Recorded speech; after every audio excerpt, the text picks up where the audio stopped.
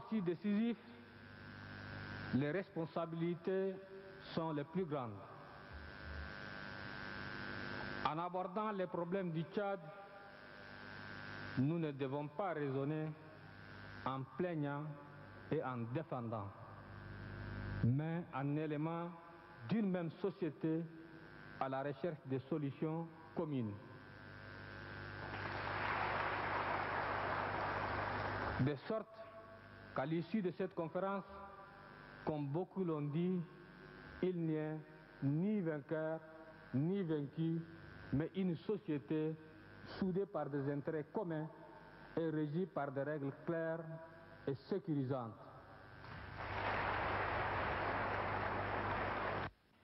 Le président de la République a tracé le cadre et l'esprit dans lequel devraient se dérouler les travaux de la CNS.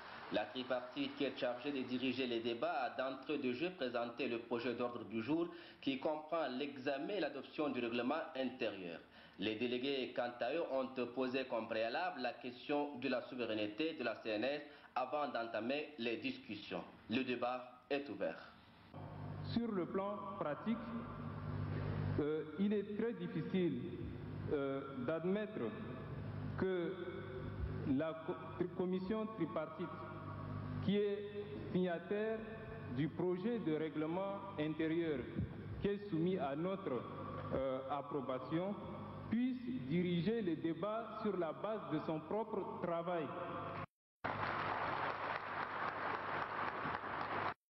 En notre, en notre sens, d'abord, la proclamation de la souveraineté de la CNS qui doit être inscrite selon la procédure d'urgence au journal officiel de la République et la mise en place d'un bureau provisoire avec deux représentants des partis politiques, les, différentes sensibilités, un représentant du monde rural, un représentant de l'exécutif et un représentant de la société civile qui doivent euh, diriger les débats concernant l'adoption de ce règlement intérieur et arriver à mettre en place sur une base consensuelle le présidium qui doit présider aux travaux de la CNS, si elle est souveraine.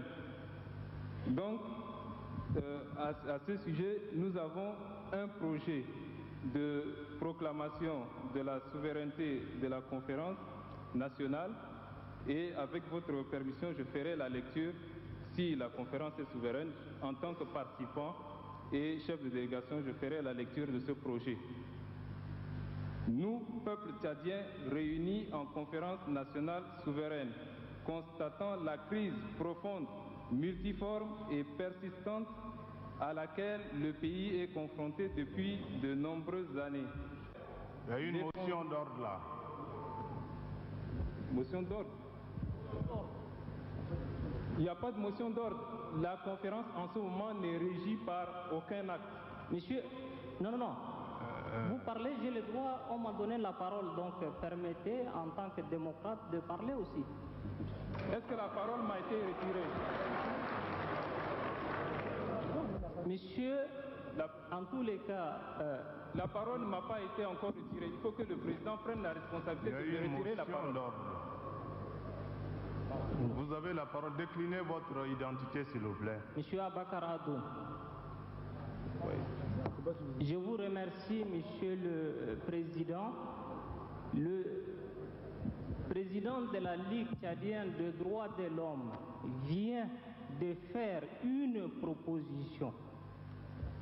Donc, par rapport à cette proposition, l'Assemblée n'est pas encore prononcée et en plus, il n'a pas, en tant que président de la Ligue des droits de l'homme, faire une déclaration au nom du peuple tchadien pour déclarer la souveraineté de la conférence nationale.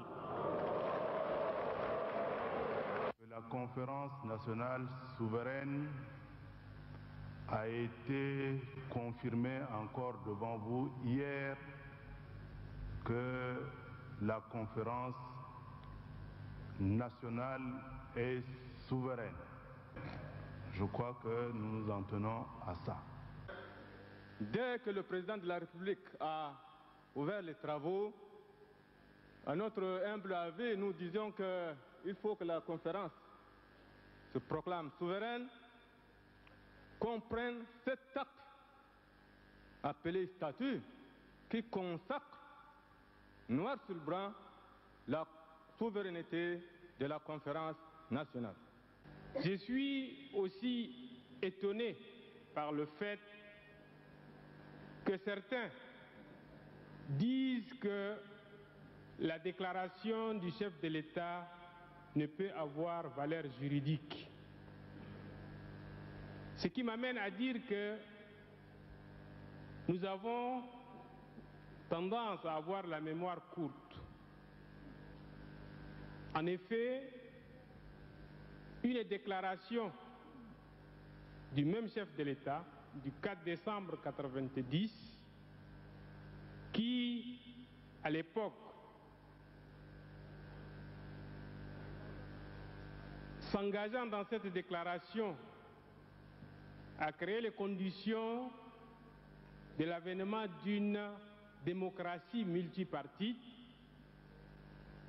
a été utilisé de façon très avancée par des groupes, des individus qui à l'époque ne sont pas des partis politiques, mais qui l'ont trouvé comme base juridique pour pouvoir déjà se constituer et cogiter des projets de société. Et lorsqu'il y a eu interpellation, cette même déclaration a été mise en avant pour dire qu'elle sert sous-bassement juridique et elle a valeur juridique. La souveraineté sur laquelle on discute est acquise depuis 15 mois. La parole du président, premier magistrat, fait force de loi. Il n'est pas besoin de demander des écrits pour la souveraineté de la conférence. Ici, le problème fondamental n'est pas la souveraineté. Pour moi, c'est acquis. Le problème, c'est le dispositif de l'exercice de cette souveraineté. Et cela ressort du présidium avec son assemblée. La première des choses, c'est qu'on ne peut pas accepter que l'acte de souveraineté soit signé ou contresigné par le chef de l'État être une source de conflit. Je m'explique. Pendant la conférence ou après la conférence, le chef de l'État est libre de prendre un autre acte pour annuler un acte qu'il aura signé. Deuxièmement, on ne peut pas non plus proclamer la souveraineté de la conférence sous la présidence de la tripartite. Que- quelle motion? J'ai comme Quelle la- motion Mais c'est cette motion que je suis en train de faire. J'ai- bien l'impression que la tripartite est en train de sélectionner les gens dans leurs interventions. J'étais parmi les premières personnes à lever le doigt avant le représentant de l'UST et euh, j'ai l'impression qu'on a fait fi de m'inscrire. Je crois que la conférence nationale, Ali Abdraman Hagar, euh, tient donc violence. La conférence nationale souveraine souffre d'une petite maladie. Cette petite maladie, à mon avis, elle s'appelle la tripartiomite. Et comme on sait, une maladie est vite arrivée, mais elle part très difficilement. C'est pourquoi tout le monde est unanime pour qu'on élise un présidium. Et le présidium fera tout le travail. Je crois qu'on va avancer franchement très rapidement. Monsieur le Président, je me pose la question suivante. S'agit-il d'une question de forme juridique ou cherche-t-on autre chose? Et j'ajoute là, parce que j'ai appris, j'ai entendu qu'une fois que la, la souveraineté sera proclamée, tout le peuple tchadien est appelé à sortir dans la rue pour danser. Alors, je me pose, monsieur de grâce, monsieur du côté de grâce, je me pose la question, c'est vraiment, c'est seulement cette proclamation, cet acte de forme juridique qui va faire danser tout le peuple tchadien, sans qu'on sache le contenu exact. J'aimerais que les uns et les autres aillent jusqu'au bout de leur idée et nous éclairent davantage pour nos prises de décision en connaissance de cause. C'est justement la Ligue tchadienne des droits de l'homme qui a posé le problème de la souveraineté de cette conférence. Malheureusement, certains l'ont peut-être compris, d'autres ne l'ont peut-être pas compris. Nous n'avons nullement l'intention de créer une crise politique quelconque. Un intervenant a dit tout à l'heure quelle différence y a-t-il entre la souveraineté octroyée et la souveraineté proclamée? Il faut être clair, c'est dans le domaine de cette conférence. Nous ne sommes pas en révolution comme en 1789 en France. Dans l'esprit de ceux qui pensent que si la plénière... S'il vous plaît, Monsieur Kadiangaba, vous avez expliqué largement le sens de la souveraineté. Je crois que la plénière vous a compris. Vous nous sommez de nous prononcer sur le mot souverain. On n'a pas à se prononcer sur le mot souverain. Vous mettez en place un bureau provisoire. On proclame la conférence nationale souveraine, signé la conférence. Ensuite, on précède à l'installation du président, etc., etc. Mais là, vous passé votre rôle. Et je proteste. Il est regrettable que la tripartite s'érige en quoi je ne sais pas, ignore que cette conférence est souveraine et cherche à nous embourber dans quoi je ne sais rien. Je pense que la première des choses à faire, c'est de déclarer cette conférence nationale souveraine et ensuite, je crois que le reste ira tout seul.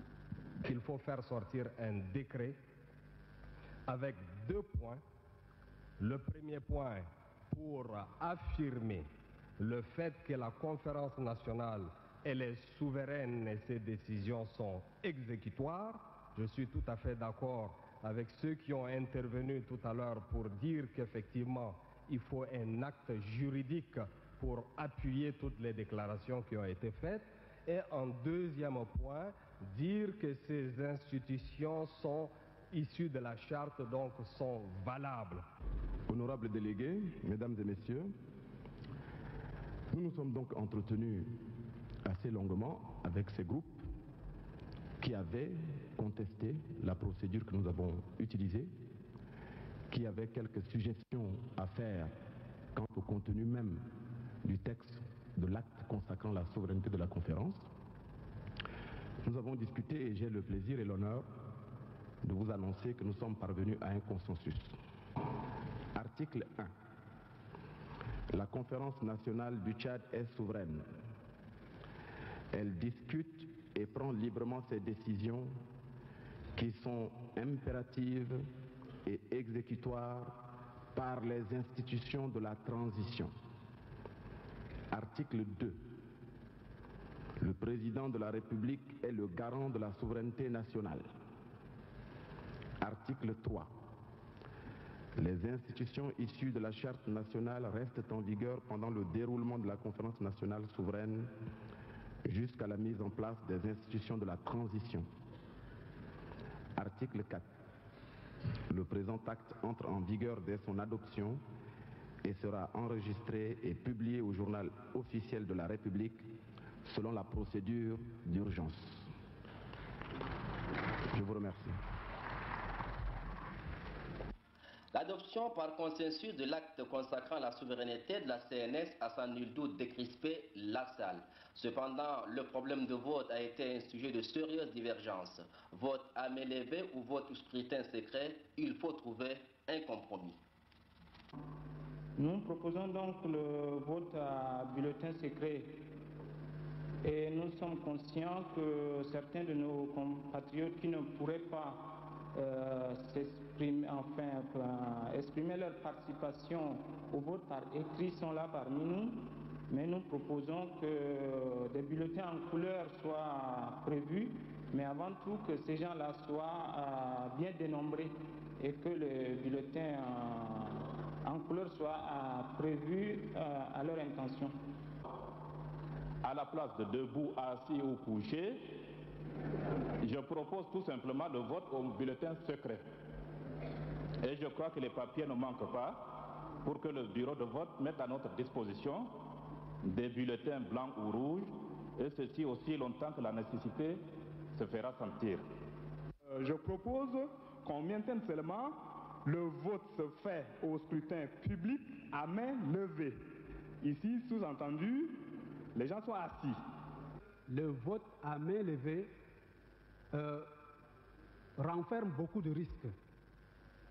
Il nous faudra passer au vote à bulletin secret. Nous sommes dans une conférence nationale et nous sommes des acteurs politiques et nous devrions, devant le peuple tchadien, montrer clairement notre choix. C'est pour ça que euh, nous optons euh, pour le vote à main levée dans la mesure où, dans la mesure où, n'en déplaise à certains, nous sommes un parti souverain dans la mesure où nous pensons que la réunion des concertations des partis, nous avons adopté le vote à bulletin secret. Nous préférons de manière honnête changer notre point de vue. J'ai dit que le Tchad a peur. C'est ça la réalité tchadienne. C'est pour chasser la peur qu'il faut que les Tchadiens votent par scrutin secret. Il y a bien sûr une minorité parmi nous qui n'ont pas peur.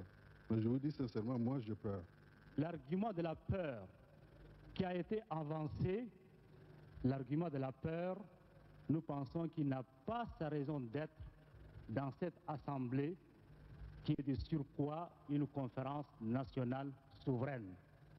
Le moyen le plus adéquat pour soutenir cette démocratie naissante, c'est bel et bien de combattre cette peur. Et pour la combattre, il faut bien démontrer ici dans cette salle que personne n'a plus peur, que nous pouvons voter à main levée pour dire ce que nous pensons sur telle ou telle question de tel ou tel candidat. Pour cette conférence nationale souveraine, le, le scrutin secret s'impose de manière impérative. Nous pensons que chacun, devant la nation, devant toute la population, et je crois que c'est l'importance que ces débats soient retransmis en direct, affiche son opinion et prenne ses responsabilités. Si demain, parce que nous avons décidé de voter à main levée, puisque c'est ce vote-là que nous préconisons, nous devrons être combattus, nous devrons être combattus par la population, nous sommes d'accord pour assumer cette responsabilité-là. Et je crois que nous sommes ici pour prendre nos responsabilités et nous sommes appelés à le faire. Sinon, il n'y aura pas de démocratie si nous ne sommes pas en mesure d'assumer nos responsabilités. La conférence est de plus en plus bloquée et n'arrive pas à démarrer. Et si nous continuons avec cette procédure, elle ne démarrera jamais. Parce que là maintenant, d'aucuns disent que c'est l'article 58 nouveau qui pose problème. Il faudrait donc trouver un moyen pour régler ce problème.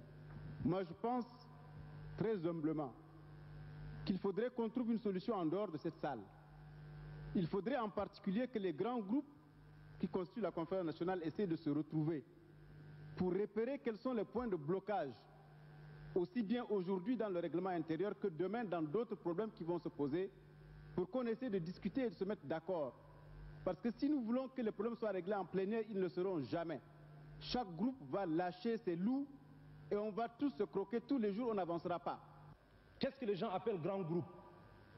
De consensus en consensus, on est allé du congrès de 62 à la guerre de 63, du congrès de Doyaba à la généralisation de la lutte en 72, de, des accords de Khartoum à la guerre de 79, de Kano 1, de Kano 2, de Lagos. Ça nous a mené à ce que nous savons. Monsieur le Président, prenez vos responsabilités pour que dans cette salle la solution soit trouvée. Il n'y a pas à aller se voir dans les coulisses à l'extérieur pour revenir. Autrement dit, la conférence nationale n'aura pas de sens. Il faut que tout soit dans la transparence ici, parce que le peuple nous juge, Monsieur le Président. C'est impossible. Nous ne recherchons pas les débats de couloir. Nous n'avons peur de personne ici. Nous n'avons peur de personne. Et les gens nous connaissent par rapport à notre franc-parler. Et nous sommes venus dans cette salle, à cette conférence, pour livrer notre réflexion par rapport à notre attitude d'acteur tous les problèmes seront évoqués. Le problème du bilinguisme, le problème de la forme de l'État, le problème d'opposition nord-sud, le problème d'opposition chrétien-musulman, le problème des ingérences extérieures, tous ces problèmes seront abordés dans cette salle. Par conséquent, nous n'avons pas peur. Mais nous disons tout simplement qu'il faut nous créer les conditions pour que ce débat s'engage. En fait, ce que le forum veut, c'est quoi? C'est que le forum représente la minorité de blocage. C'est ça, en fait, que le forum veut. Il y a des partis politiques dans cette salle. Il y a des partis politiques dans cette salle, il y en a 33 ou 34. Nous représentons 13 partis ici.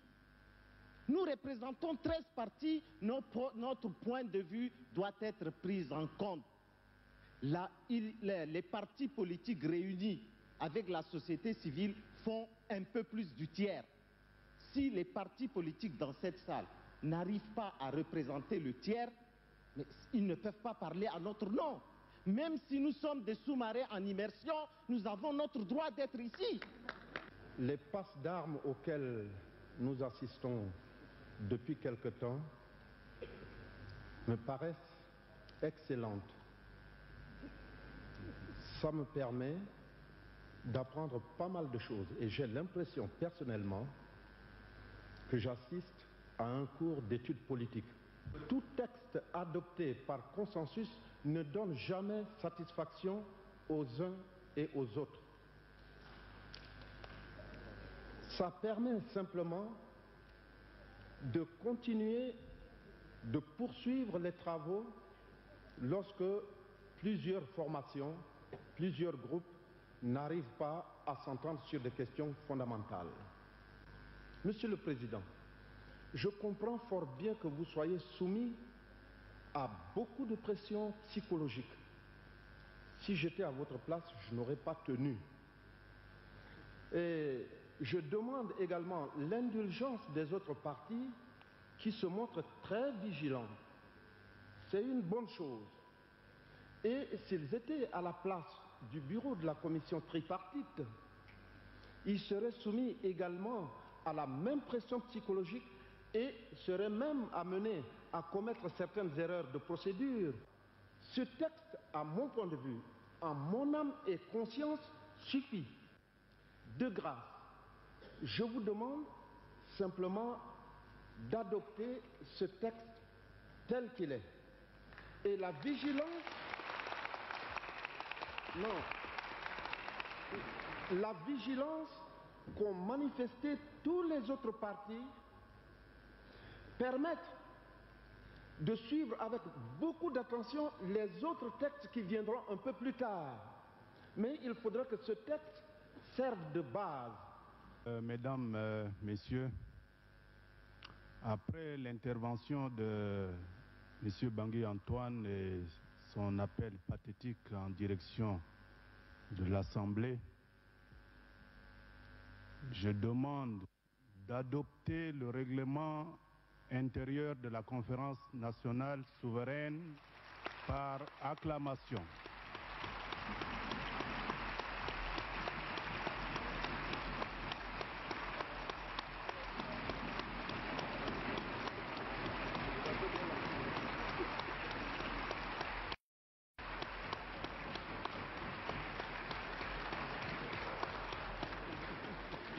Merci beaucoup.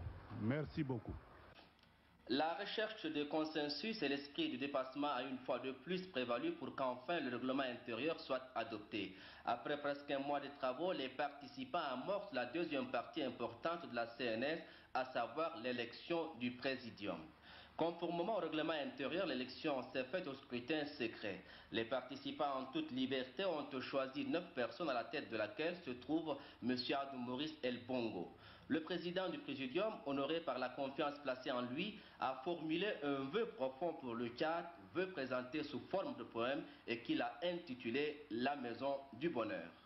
Je souhaiterais donc que cette maison du bonheur, que cette maison de tous les Tchadiens, solidement construite, s'élève où mes mains auraient voulu l'élever.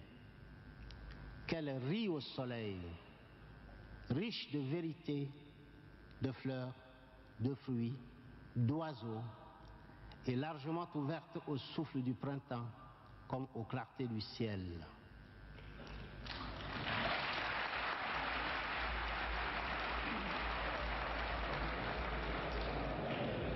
Que la veille ouvrière, que la veille ouvrière y bâtisse son miel, que l'hymne de la joie humaine y retentisse et que tout y soit beauté quand tout y sera justice.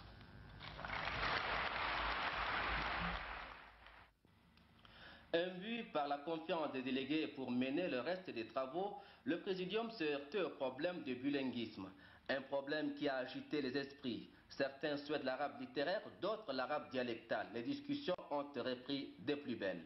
Les amis arabophones tiennent à ce qu'on supprime le SAR, ce n'est pas faisable. Le test est clair là-dessus. Je le relis. Les participants peuvent intervenir dans les langues nationales. Dans ce, cas, les interventions sont traduites en français et arabe. Les documents de, travail sont élaborés en français et arabe. Ne craignons pas de problèmes là où il n'y en a pas. Je voudrais dire à ces frères qui insistent autour du problème euh, de la langue arabe qu'ils sachent que la langue sara qu'ils veulent supprimer ici existe avec l'indépendance. Pour ce qui concerne l'arabe, le français que nous voulons défendre, c'est vrai, il y a une grande couche sociale d'origine arabe ici, mais quand même, cette langue arabe écrite vient de l'Orient, vient du Moyen-Orient. La langue, la langue française, écoutez, écoutez, la langue française que nous voulons défendre ici vient de l'Occident. Il faudrait que les gens comprennent. Donc, nous, au Tchad, les Tchadiens, nous ne disposons d'aucune langue écrite. Nous sommes obligés, nous sommes obligés, quand il s'agit d'adresser un message à notre peuple, à nos populations, nous devons nous adresser à la langue que la population comprenne. Je proteste énergiquement contre l'intervention du président Goukeni, qui est une intervention, oui, je proteste, je proteste, je proteste, je proteste, je proteste énergiquement, je m'explique. Le règlement intérieur dit bien que la traduction se fait en langue officielle, le français et l'arabe. Ce qui a été dit dans le règlement intérieur, que chacun peut intervenir en langue nationale. Monsieur le ministre, je vous fais encore remarquer que ce n'est pas une motion, c'est là une intervention. Je proteste, je dis, je proteste parce que je m'explique. Je proteste, je proteste. La langue arabe est venue comme toutes je les suis, autres langues.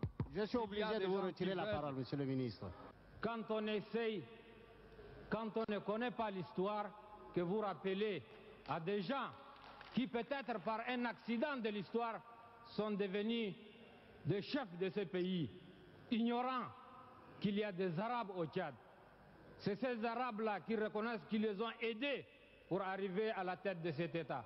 Je voudrais que vous, je voudrais que vous, vous puissiez rappeler à ces gens-là qui dénaturent l'histoire. Nous sommes coincés par le temps. Je souhaiterais que les traductions en arabe et en sara soient suspendues durant les amendements. Et les traductions seront faites quand le document sera, euh, disons, amendé complètement. Considérant que le présidium est contre la langue arabe, chaque fois qu'il y a un blocage, les gens veulent dire, mais supprimons d'abord la langue, pour qu'il ait, la, pour qu'il ait raison. Et ça, c'est tout à fait anormal. Pourquoi la moitié de la salle qui ne comprend pas le français doit assister comme ça à nous, pour nous regarder?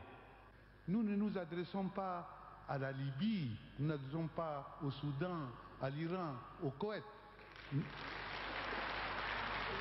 Ce qui s'est fait ici est fait pour les Tchadiens. Et si ces gens ont des maîtres à penser, ils auraient la latitude de prendre les documents et de leur envoyer ça par la poste. Je ne vais pas faire de la polémique, mais j'ai senti que notre peuple est frustré.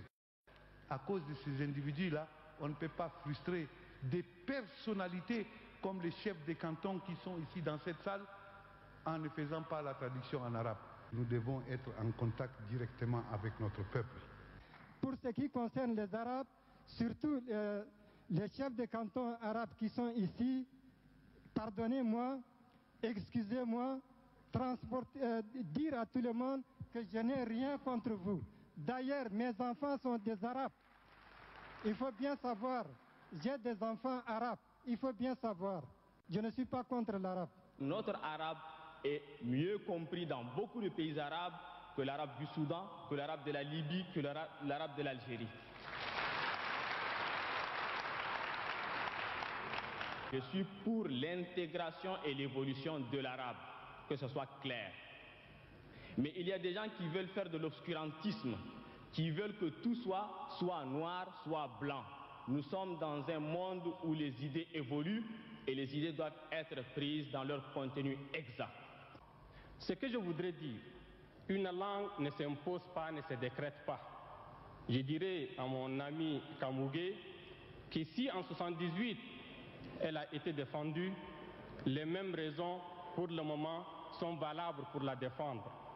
Défendons-la en tant que langue nationale, un facteur susceptible de nous unir. Nous sommes en train de chercher tout facteur, minime soit-il, susceptible de nous aider, de nous unir. Le frère Kebzabo, dans son intervention, il a dit que la langue arabe doit avoir droit de citer au Tchad plus que dans tout autre pays de l'Afrique subsaharienne. C'est réel. Les mots qui ont miné le pays pendant 30 ans et les remèdes qu'il faut pour sortir le Tchad de son ornière ont dominé les différentes communications des délégués. De ces interventions, l'on retiendra surtout la forme de l'État, la sécurité et la laïcité de l'État tout ce qui s'est passé dans notre pays, de l'indépendance à nos jours, en passant par les événements de février 1979, de mars 1980, de juin 1982 et décembre 1990, n'est pas imputable seulement à un seul individu, mais à nous tous, certes à des degrés divers, à tous les Tchadiens, de toutes les régions, de toutes les ethnies et surtout de toutes les tendances politico-militaires confondues, et plus particulièrement de leur chef dont je suis l'un d'eux.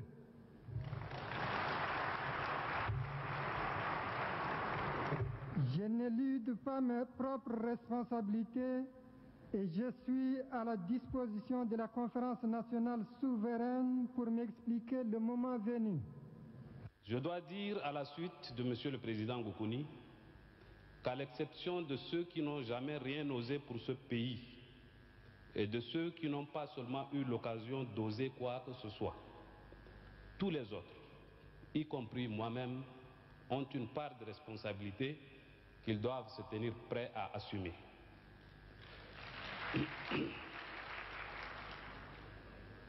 Je ne dis pas qu'il faille transformer la conférence nationale souveraine en un méga procès ou en une tribune pour règlement de compte en direct.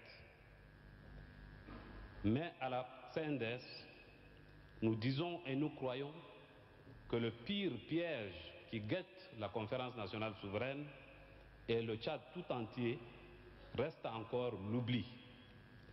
Nous ne devons jamais oublier mais nous devons savoir pardonner pour préserver l'avenir. Nous devons, avec la hauteur de vue nécessaire, considérer le passé sans complaisance, ausculter les faits qui le jalonnent, sans jeter la pierre ni aux uns ni aux autres, et tirer froidement les conclusions qui nous empêcheront de recommencer. De cette manière seulement, croyons-nous, les Tchadiens réconciliés avec eux-mêmes et avec leur passé pourront bâtir leur grande case commune avec des piliers taillés dans le roc. Ne perdez pas de vue que les résolutions des problèmes politico-socio-économiques dépendront en grande partie de la mise en place des structures adéquates, d'un cadre juridique juste et acceptable pour tous, la nomination des hommes et des femmes qu'il faut, à la place qu'il faut, pour le triomphe de l'intérêt général au bénéfice du peuple. Dans l'immédiat, une de ces institutions doit particulièrement retenir l'attention. Je veux parler de l'armée. Elle peut être un élément sûr d'unité, de sécurité et de stabilité de la nation, comme elle peut engendrer les maux jusqu'à l'existence même de l'État. Les textes qui la régissent, recrutement, avancement, discipline, statut, etc., doivent être stables, protégés. Les vieilles démocraties, souvent amies, qui contribuent à l'existence de cette armée, vous attesteront que de tels textes ne se modifient pas au gré des régimes et ne subissent pas des modifications intempestives à la faveur de la volonté du prince.